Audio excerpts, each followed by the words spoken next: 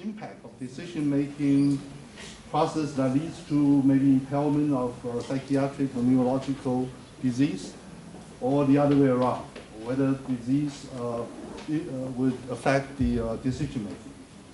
So I think uh, we have lots to talk about. Um, So let's begin with Kathy. Well, I, I want to thank you uh, for the invitation to be here today and to be a part of um, truly a remarkable group of scientists here. I'm very flattered that I'm here as a clinician to give comment. Um, so I work on the neurological end of the spectrum. I work with Alzheimer's disease patients. Um, primarily, I see patients with three different kinds of neurodegenerative disorders, which I think have implications for um, decision making um, and for the topic here today. So the, the main population I see are patients with neurodegenerative diseases due to Alzheimer's disease dementia. The second would be I see um, less frequently frontotemporal dementias, which are a disorder affecting the um, prefrontal cortex. And then I also see a large group of patients with Parkinson's disease or Lewy body dementias. In addition to those three neurodegenerative kinds of dementias that we will see in our clinic, um, I will also see um, disorders that are due to small vessel disease in the brain or to completed strokes within the brain. And those can occur in isolation or can occur in the context of each of those three degenerative conditions that I just described. In each of those three degenerative conditions, problems with decision making can occur. And so, what I find really um, exciting about what I've heard here today is that I think that what we're learning in the neuroscience of decision making has tremendous implications for clinical practice down the road. It can help us to much better understand our patients and to begin to think about ways that we might be able to actually design tools to identify people who are vulnerable to uh, problems with decision making and maybe even come up with some strategies for intervening. So, in Alzheimer's disease, all three conditions that I've just described um, involve different brain systems, and I think they provide a very complementary approach to what we heard today about animal models and computational models. We have natural experiments that are occurring within people who unfortunately have diseases within particular neural circuits. The decision problems that you see in Alzheimer's disease certainly occur very late in the illness, but even very early at the MCI stage, we see problems with making decisions. We have paradigms where we ask people to make decisions about medical care, and we can look at how they weigh those decisions and come to uh, form an opinion. And that can be um, impaired in these patients and on functional imaging studies as well as in MRS studies about uh, spectroscopy, we can actually see changes within very discrete areas of the frontal lobe. When we go to the frontal temporal dementias, we can see problems in the prefrontal cortex, and that has tremendous implications for the behaviors that they express. And then finally, with Parkinson's disease, you know better than I that that's been a tremendously powerful model for looking at the different areas of the basal ganglia and how that's involved in decision making. So, three different degenerative diseases, three different neural systems involved can give us tremendous insights into what's going on in the brain in a disordered um, medical decision, uh, in disordered decision making, different systems where they're involved, and I think that can inform what you're doing with the um, the models that are being developed. And in addition, what we learn from um, thank you from neurosciences can actually help inform um, how we approach our patients and, and how we deliver care. So I, I found it very exciting, and I hope we can dialogue about how what we're learning at the neuroscience end may actually help us in clinical practice. Thanks. Yeah, and I'd like to echo um, everything that Kathy said in terms of just uh, my enthusiasm being here, and I've, I've learned a tremendous amount, and it's really, um, it's a privilege as a clinician to sit here, even if it's a little bit uh, mentally challenging for me to, sort of go beyond my comfort level and area of expertise to incorporate and integrate all the cool stuff that, that I've, I've listened to today. So I, I work uh, clinically and, and with my research with two basic populations um, that are um, probably a little bit different from what Kathy described. These are not neuro, well, not uh, at least traditionally thought as neurodegenerative uh, problems, um, and the phenotypes are a bit softer. So I work um, primarily I run a, a clinic focused on attention deficit hyperactivity disorder, uh, which is a problem that typically emerges uh, early in life, um, has very strong evidence of, of heritability um, and a genetic component. We're learning more and more about the neurobiology of the disorder, although there's, there's lots of variability there. Um, I've, I've heard a lot of really interesting things today that make me wonder and, and think about ideas.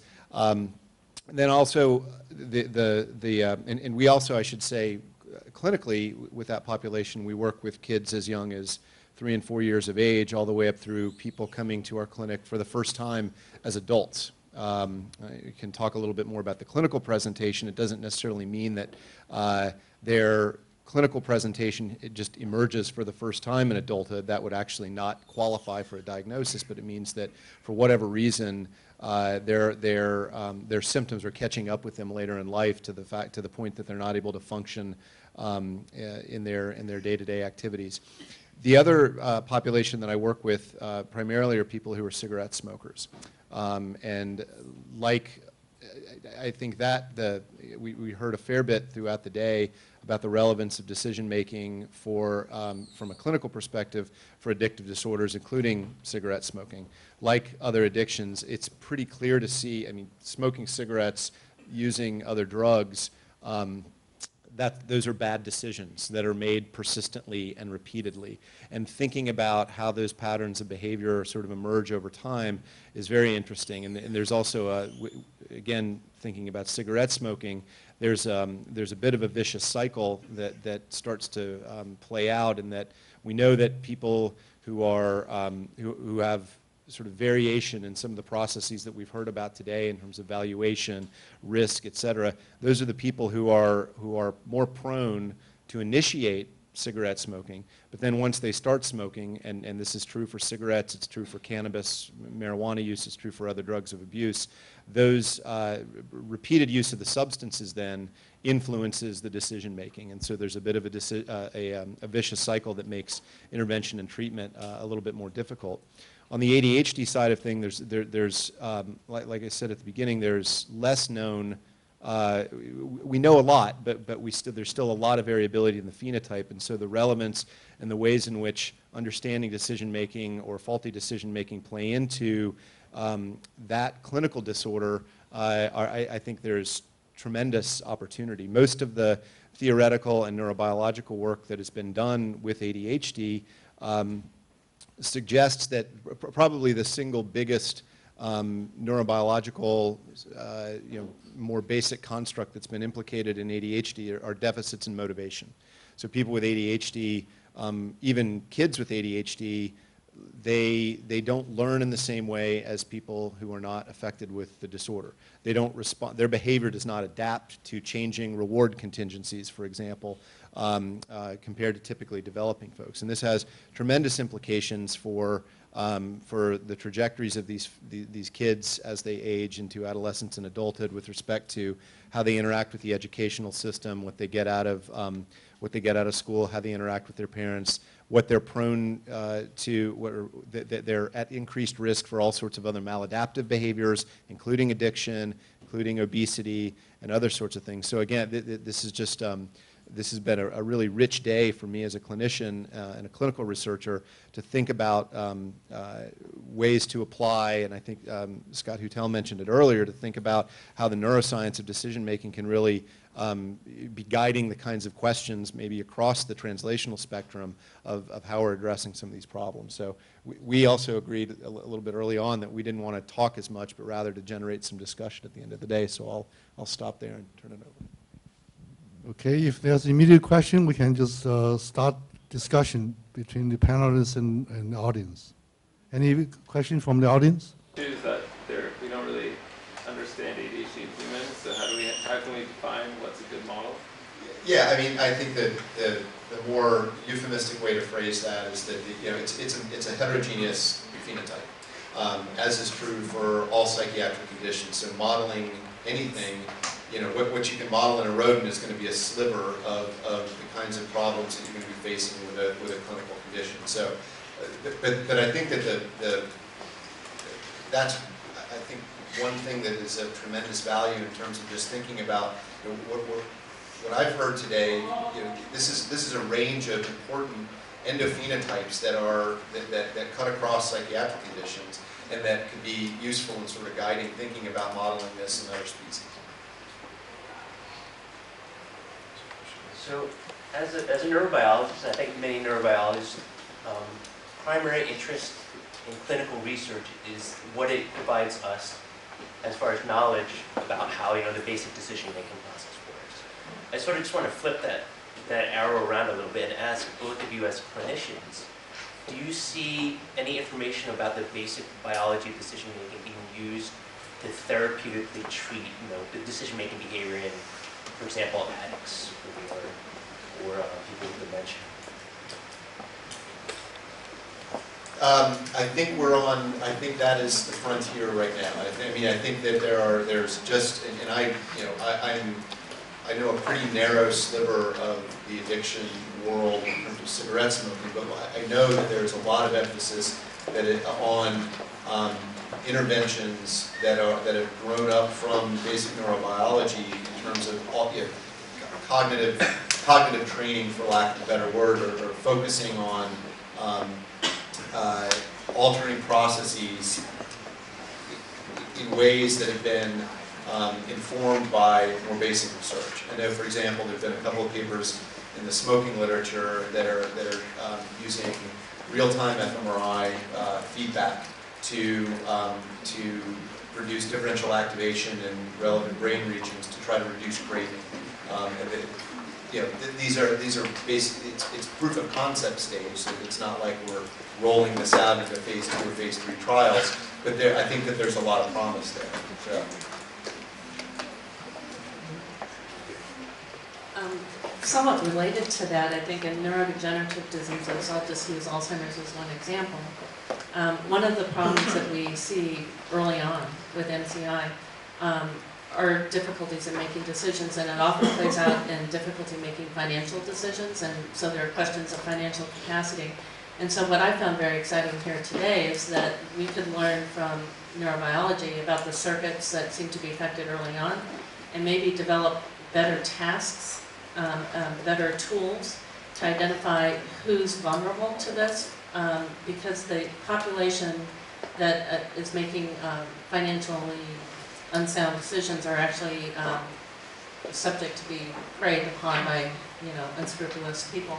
So if we have better tools, you know, some of the things that we use in clinic are very, very crude for trying to get at, you know, who's at risk for developing this problem. If we had better tools to be able to identify who's likely to show this problem a couple of years down the road, I think we could be ahead of the game in terms of um, trying to intervene. Yeah, actually, I'd like to also piggyback on that, is, I, I think that, um, there may be more value, at least where we're at currently with our understanding of, of psychiatric disorders, to being informed by decision science, um, for, for assessment and screening. Um, you know, one of the things, for example, our, our director of our National Institute of Mental Health is, you know, a, a huge part of their priority and, and his agenda is earlier and earlier identification. The basic notion that with disorders, um, especially schizophrenia, but also many other disorders, by the time they're meeting clinical diagnostic criteria and coming into my clinic, it's too late. And, and we've already, we've already missed the opportunity for good intervention. So the push is on early assessment. And I can imagine, I can imagine sensitive assays with respect to how people make decisions about uh, gains and losses being administered to kids and figuring out, well, well, in, in, I should, people have done this, but not in a sort of population screening kind of way. So people have characterized ADHD versus non-ADHD kids, and yes, they make decisions differently and they value rewards differently. But, but really thinking about how to, you know, could we use that from a screening perspective? Um, to identify kids who are going to be at risk for other kinds of problems. I think some of the, um, another example, some of the paradigms that Michael was talking about, um, there's been a lot of work and a lot of rapid work being done in autism for early identification, because that's another disorder where we know, you know, um, time is of the essence and the clock is ticking. The earlier, you know, by, by orders of, you know, months, maybe even weeks, that you can start intervening with kids, the, the better the outcomes are. So I think using some of these kinds of things in assessment capacity is a, is a promising. Right, so I, I should add, uh, on behalf of Dr. Sun, uh, who's a clinician in the Ruijin Hospital in Jiao Tong University in Shanghai. He is uh, uh, he's heading a, a unit on the functional neurosurgery, using uh, mostly using deep brain stimulation. I think uh, knowing the uh, the so- the basis for reward-associated learning and addiction, one can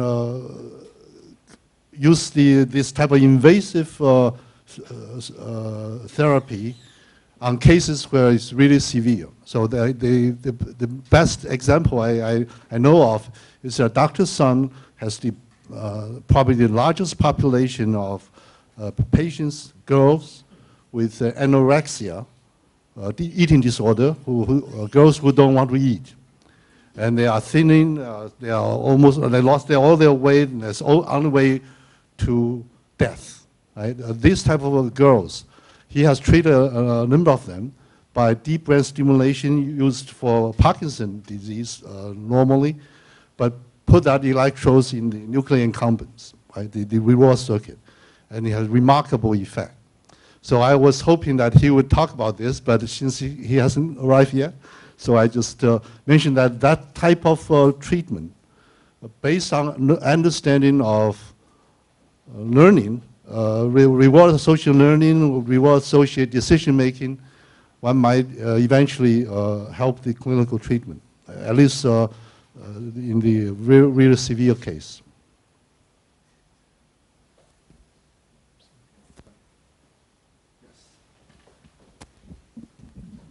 So, this is just a comment and also a response to Kenway's question. I mean, one other example would be Parkinson's disease, for which uh, historically we think about symptoms being motor associated to motor disorders, but starting about, what, 10, 12 years ago, there's a recognition that pathological gambling is co-occurring at a rate three or four times that of the normal population.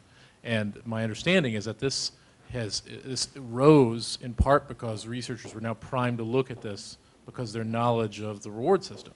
And so we have a case where it's the, the effectively the recognition from other aspects of, of decision, or I guess neuroscience broadly, that sparked people think differently about that disorder, which now has led to changes in how you monitor patients and what is, uh, in some cases, or what drug companies do when they're uh, dealing with their drugs. So I think that that's, uh, just again, it's more of a comment than anything else, but if, if that's uh, consistent with your experience, Kathy, that would be at least one example where the neuroscience is shaping how we're at least thinking about treatments for one of these disorders.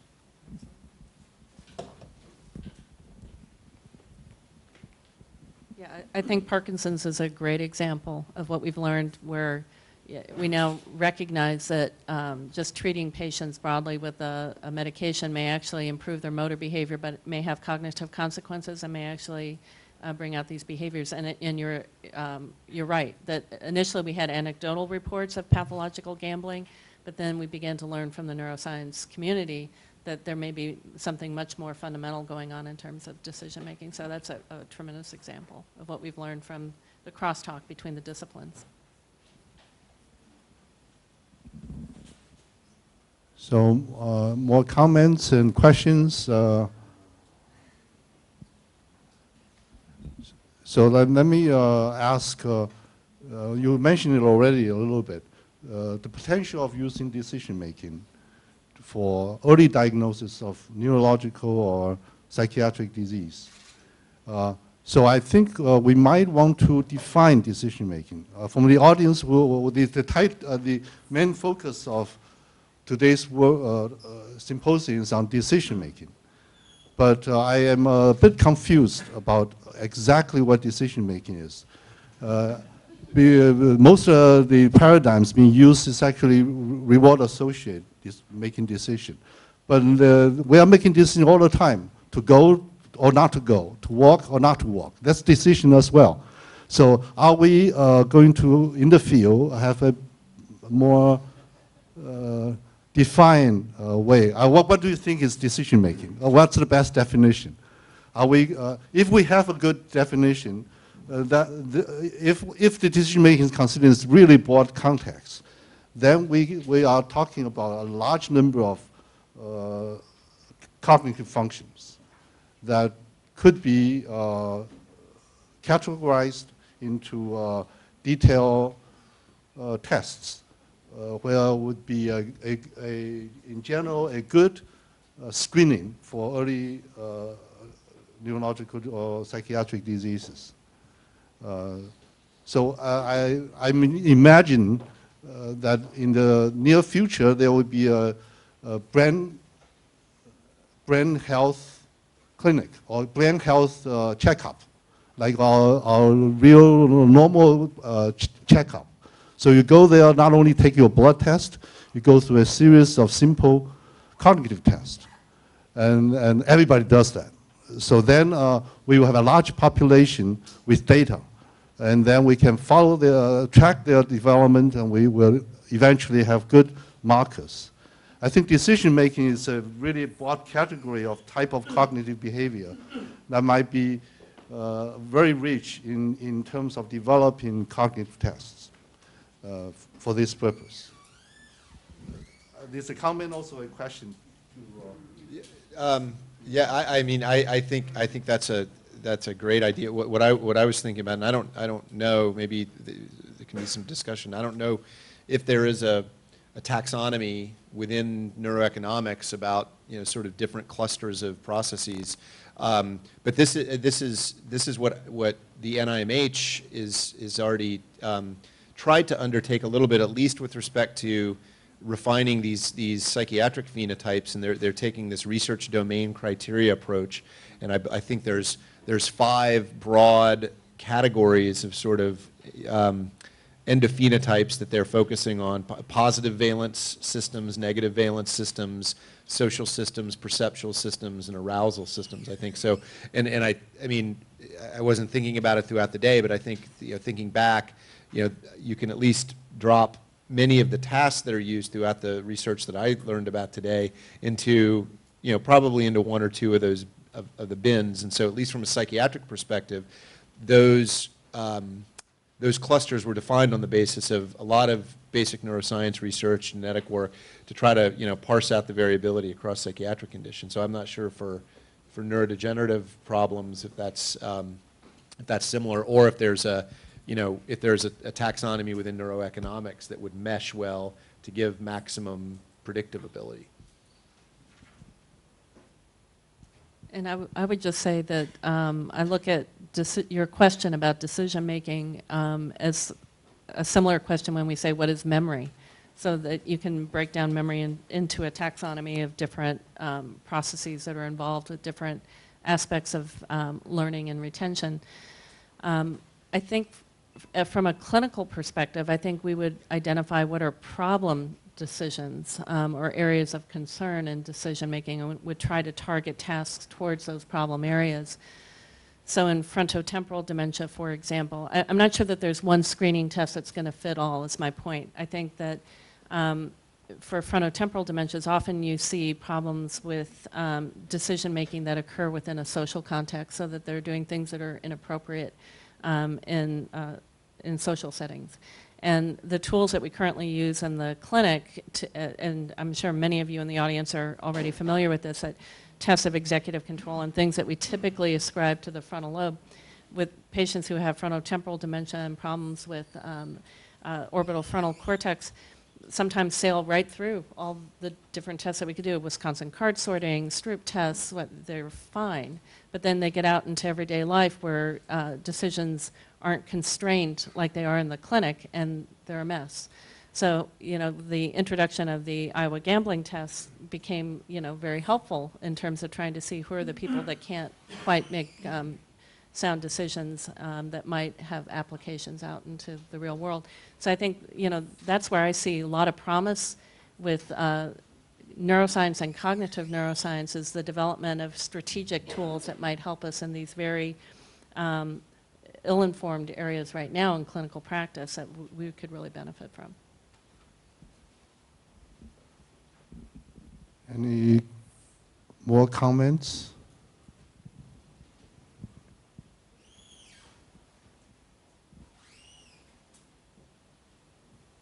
So I, um, can I, can I ask the speakers to comment on uh, what they think uh, decision-making should be uh, defined?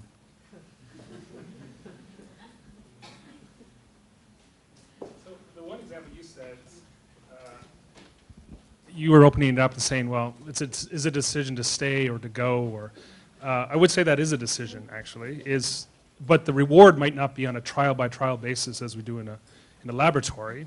So they do one action, they get a reward.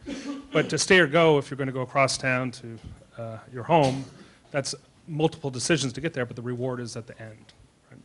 It just, for feasibility in the lab, we, we uh, make it usually in a trial-by-trial basis. Um, As far as, uh, I don't know if I want to get into what defining decision-making explicitly.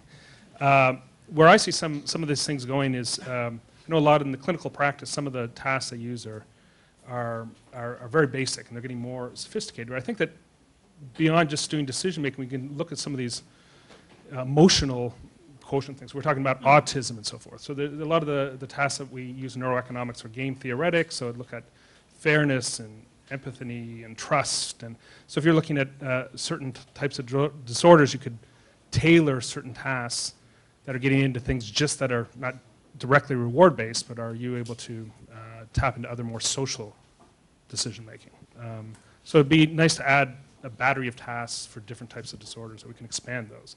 And I think an advantage of using kind of economic tasks is that we have to know what the optimal strategy is in a, in, you know, an economic sense and what people actually do in a more descriptive sense, what they do. Here's a normal population, and they're very good for quantifying things. So we could find out where some outliers that are falling off the continuum in certain aspects. So that didn't answer what is decision making, but that's that's my inputs. So can I say that in the economics, the decision-making is reward-associated decision? Uh, Immediate reward-associated decision?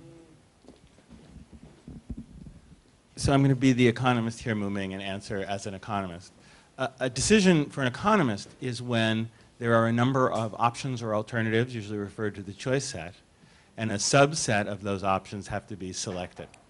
And that's a very general behavioral definition of a decision, and the options can include doing nothing.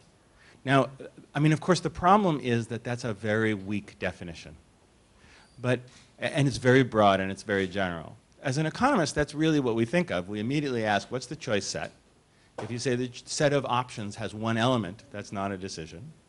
If the answer is I can pick everything in the choice set at once, that's uh like an American supermarket kind of decision, um, then uh, that's also probably not a decision.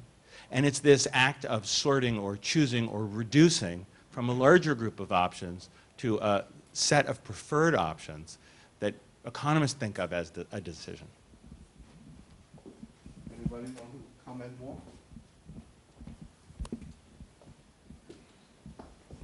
So I agree with this general definition, uh, but I think usually implicitly, at least, uh, when we talk about decision making, we mean s- a deliberate selection. So I would exclude uh, simple reflex uh, as a type of decision. So you may go or not go. For example, you see a snake, uh, but you actually don't have time to really uh, deliberate about it. You just you know act. In that case, in Rachel's grade, uh, you know, uh, you could say, "Oh, I could decide whether I go or don't go. I jump or I don't jump." But you know, you actually don't do that, right? When when you uh, just produce a reflexive response. So it, uh, I think I think it's usually we we uh, uh, when we say this, we talk about decision making. What we study is more deliberate process of looking at evidence for or against different options, and evidence can include sensory information. It can include the estimate of values and risks, and usually um, any interesting decision involves uncertainty. Um, so I guess, you know, now we can start to uh, define different classes of decisions, but uh, I think this, those are the common elements um, about uh, uh, the kind of decisions we talk about, I think. So I, I'm going to do the counterpoint. So I think um, the by drawing a line between deliberative and not deliberative decisions, you introduce kind of a Cartesian dualistic issue with neural processing. And we have so many priors in the perceptual system that are unconscious that it's, to me, it's, and I think Paul also, it's kind of crazy to draw a line between deliberative and non-deliberative decisions. But there are, I think, timescale issues. So the jumping when you see a snake might be very fast, and you might not have a lot of time to uh, modulate that decision through other processes. Um, whereas something that's slower, maybe you can, uh, it feels deliberative, but I feel like if we talk about deliberation then we, and we're doing animal research, then we have to kind of say that animals deliberate. I mean, I just think it's a, it's a dangerous path to go on. That's my perspective. Uh, I would like to uh, add uh, some speculations. I think in terms of the current uh, uh, approach, uh, someone at, at panel, our panel mentioned that if we use the approach, generally it's a reward machine-based definition of decision making. I think um, human beings are not different from animals, not, are not different from monkeys. But in terms of, uh, I, I usually, I mean, I strongly believe that human beings are something unique, it's different from monkeys. But thinking the situation that some, in most cases, or some cases, we make decision not to get benefit, not to get reward for ourselves. In conscious, we make decision to sacrifice our own benefits, our, our own interests. I mean, in that sense, I think uh, if we talk about decision making in that sense, it's more like uh, reflect the, the function of, of, uh, of free will. This is, this is a philosopher and the psychologist use the word. It's the free will to make a decision. It's not simply reward associated uh, uh, uh, like reaction responses. It's more can reflect uh, how this free will, the, the, the spiritual want to do, and how to do what to do. In that sense, I think uh, uh, we can using that concept maybe a different from the, the current uh, like reward-based uh, definition of uh, uh, uh, decision making.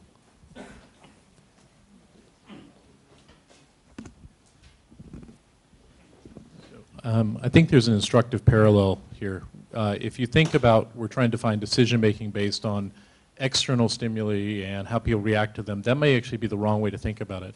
So if you think about memory, for example, if all you said is keeping information in mind over time or whatever, keeping it online in time, then that would lead you to conflate two things that are probably distinct. Active maintenance of information over very short time periods, which people might call frontally mediated working memory, and long-term storage of representations, et cetera, et cetera, that people think is mediated by a different brain system.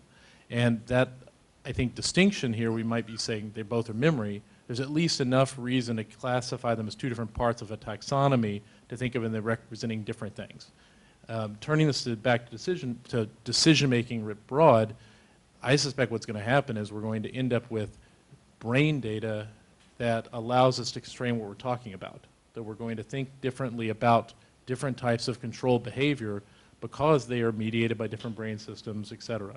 So I, I, I almost wonder, just as, to close the loop, the question is, is, is an unfair question because we don't know enough to know the answer yet.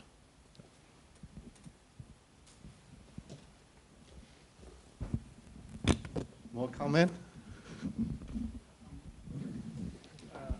So as far as the deliberation goes, I'll, I'll agree with uh, Jeff on this. Uh, um, I like to use this uh, video uh, when I teach uh, about decision making um, of Kasparov when he's uh, the chess champion. He's playing t- 30 people at once, and he's walking down. They have a minute to think of their decision, and he comes, looks, bang, looks, bang, looks. He's making it's almost reflexive. He's played so much that we all agree that chess is very complex decision-making task.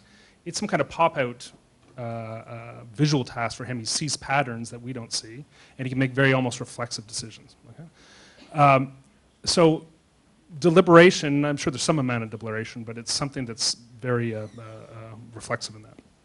Uh, the second one is free will.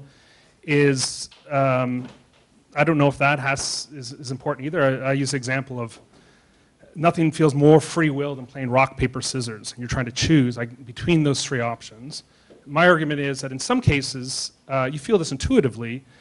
Uh, I pick rock in advance and I throw it, but sometimes something just comes out of my hand I don't even know what's going to come out, and I'm conscious of it after the fact, for example. And I would argue that sometimes that noise in the motor system is making the decision for you. So there's, that feels like a very free will task, but at the same time, uh, the fact that you're conscious of it after the decision makes it feel like it's not very free will like. uh, so I find it difficult to distinguish these as well. You can practice something, get very good at it, becomes very quick reflexive. Um, does that mean it's not a decision anymore? No.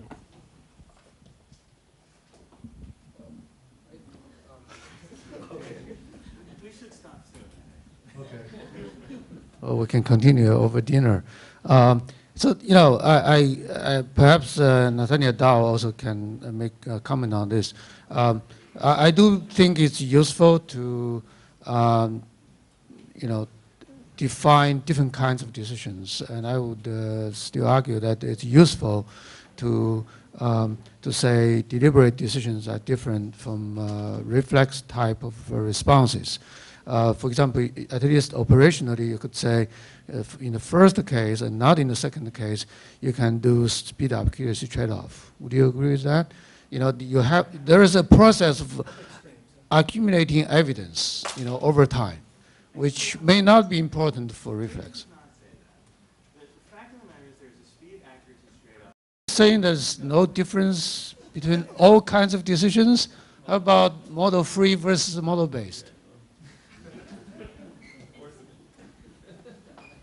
Okay, uh, continue over dinner, but let's, let's uh, end with a clinical note. So what would you like to see neuroeconomics develop as clinicians? I, I think that I've, I've already stated, I think that if we had better tools, um, I think that would be a, a big step forward for us in clinical practice for our, our patients that are making poor decisions, if we had better tools that came from neuroeconomics. Yeah, I, I, I- I would agree, and, and also just the, um, more opportunities for, for this, at least from my perspective as a clinician, is um, talking, you know, i- i- figuring out ways to improve the crosstalk. Okay, with that note, uh, we'll conclude today's uh, session. What about the lecture? Uh, Is, uh, are we have the speaker in? So she's not coming, but Anna was No, Liz is not going to make it, Oh, so we are going to have to end. Okay, closing remarks.